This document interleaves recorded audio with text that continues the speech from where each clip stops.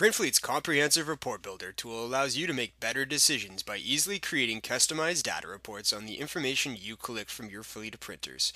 Every instance of Printfleet comes preloaded with a number of report definitions for all users, including the toner swap with history, coverage, and top 10 problem device reports. Printfleet comes preloaded with over 20 different reports and also comes with the report builder functionality which allows you to create your own reports. Creating your own reports is super easy, so watch along and see for yourself. To get to the report builder, all you need to do is click on the Reports tab from the Printfleet home screen. Now that we have opened the Reports feature, we can see that the Report Definition tab is open and displaying all of the reports that are available to you on your Printfleet system. From here, you can see the name and definition of all of your reports and can run, schedule, and edit any of the reports you have access to at any time. To begin creating your own report, it is first important to make sure that you belong to a user role that has been assigned the report management permission. So check with your Printfleet administrator to grant you access and then click on the Create Edit Report Definition button. Now we get to create our own report. The first step is to decide on the definition of the report, which is your structure, and then to decide what type of report it is.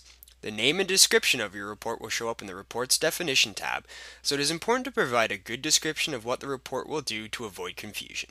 We have the option to choose which type of report we want to build, and it is preset to the standard report type. Report output template refers to what will be displayed on your report once the definition is complete and the report is run.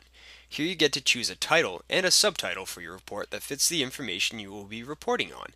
The final step before we get into the meat and potatoes of the report builder is to choose your data set. Here you have two options, device, which will include device collected on the devices you monitor, and DCA, which shows data on the DCAs themselves. Now that we've set up the logistics of the report, it's time to choose what data you want to display in your report. Clicking Add Field creates a text box with a pre-selected field, which you can then customize by clicking on the drop-down box below. From here, all of the data that you can report on in the report builder are grouped into field types. The model field type contains fields such as manufacturer and model name, while the meters common field type contains your mono and color life counters, for example. You can add multiple field types and fields to your report by clicking the Add Field button.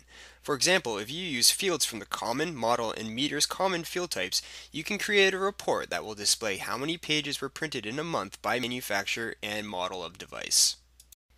Once you have selected your field types and fields, you can choose to format the report by nesting, which is indentations in the report which group information, adding row counts and field summaries, as well as the ability to include charts to display your data, once you are done with formatting, click on the Save button at the bottom of the screen. Now that your report definition has been saved, the Report Parameters section of the Reports tool will open. In this section, the actual data used to populate your report will be selected. The Report Parameters tab displays the definition summary and the current access settings for the report. By default, each report you create is set to private, meaning no other user can see, edit, or run your report. If you want to make your report open to additional users, all you need to do is click Share with Group, which opens up the Report Definition Access dialog.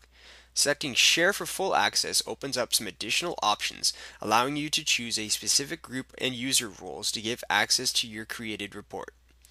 Once you are happy with your access level, your last steps will be to select the group you want to run the report against, the reporting period or number of days of data you will report on, and the management status.